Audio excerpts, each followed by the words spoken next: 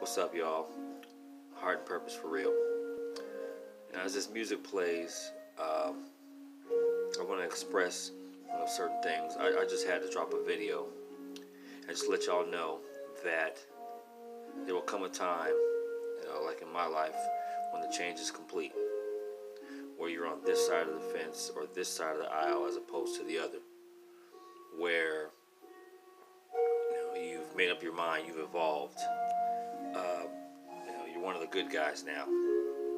Uh, you have a certain amount of progress under your belt, physically, mentally, and spiritually. You've got the right amount of allies. Um, you're financially able to at least experiment what it is you want to do and be. You know, you're not out the woods yet.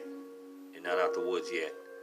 But you could strive to be a better person or a version of yourself, a stronger version of yourself, and overcome that pain and overcome that uh, struggle that haunts you at night, that wakes you up, that makes it difficult to love and trust, that makes you build up walls, um, or it makes you confront things and overreact or you know, exaggerate things of that nature.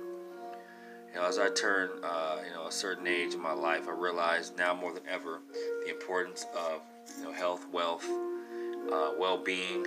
Uh, I have a fraternity brother, Will Kaysen.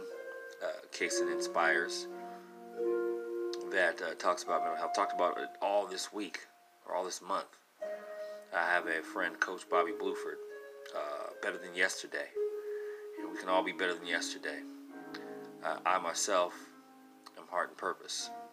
You know, there may come a time where I do these videos. Not only can I, you know, you know, I have a title or have a, a brand at the bottom, but I'll be able to point to different videos. I'll have better filming, know, so on and so forth. Why? So I could document and vlog my struggle to the stars.